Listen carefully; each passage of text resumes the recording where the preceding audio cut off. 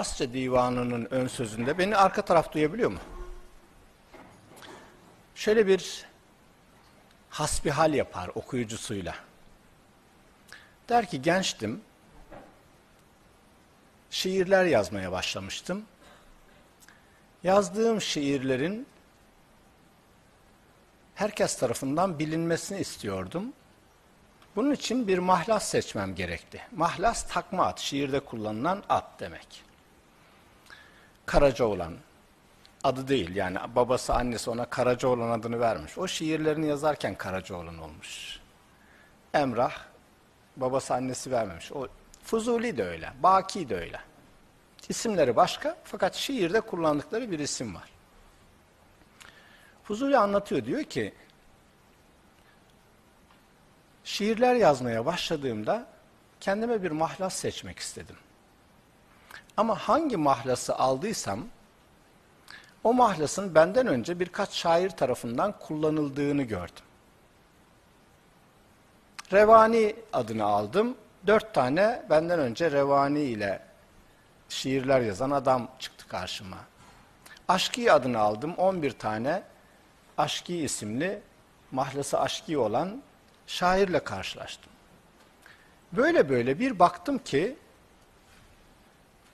benim meslektaşlarım şiirlerde kullanılacak hayallerden önce şiirlerde kullanılacak isimleri paylaşmışlar. Bana da bir şey bırakmamışlar. Ben onlarla aynı ismi taşımak istemedim. Çünkü aynı ismi taşıyıp bir şiir yazsaydım, şiirim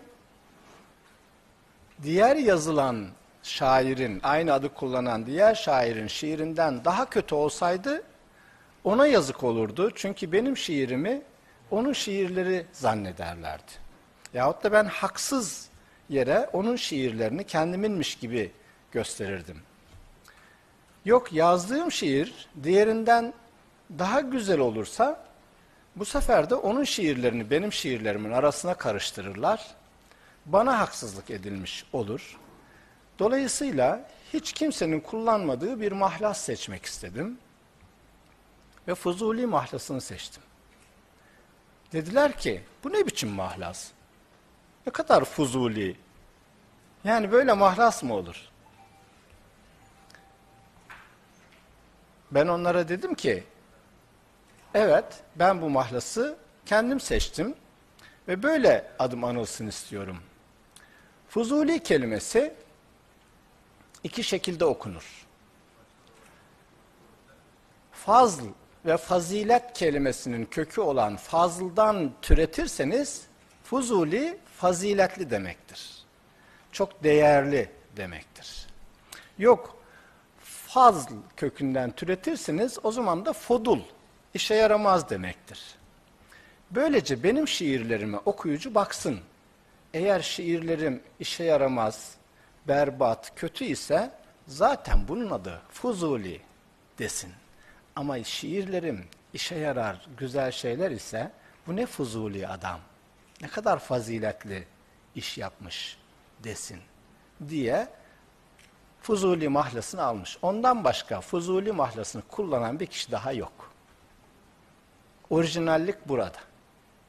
Ama Allah onu utandırmamış. Bütün şiirlerini okuyanlar fazilet kökünden bu ne fuzuli bir adam diyorlar. Ancak şiirlerini anlamayan nesiller gelince, bugünkü nesiller gibi, onu, o zaman şöyle diyorlar. Ne kadar fuzuli. Bu çağda Allah aşkına bu şiirler ne kadar fuzuli şiirler.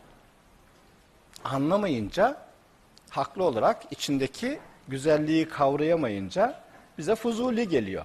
Halbuki anladığımız zaman onun ne kadar faziletli olduğunu, ne kadar güzel sözler olduğunu hissedebiliyoruz. 30 yılı aşkındır meslek hayatı içerisinde bir şeyi öğrendim.